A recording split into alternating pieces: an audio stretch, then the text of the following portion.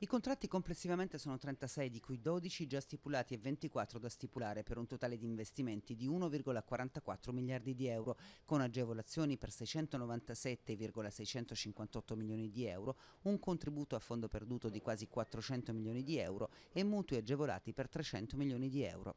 Oltre l'80% dei programmi è concentrato nelle quattro regioni dell'obiettivo convergenza, ossia Campania, Calabria, Puglia e Sicilia. 4 i contratti per il centro-nord, 2 per il cratere sismico dell'Aquila e 1 per il Sulcis.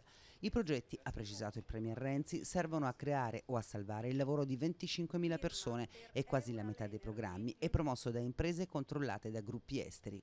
I settori interessati sono industria, dove si concentra quasi il 70% dei progetti, agroalimentare per il 19%, turistico per l'8% e commercio per il 3%.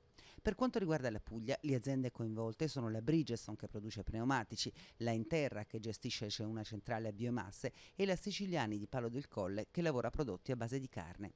Gli investimenti sono rispettivamente di 41,354 milioni di euro, 45,063 milioni di euro e 16,450 milioni di euro.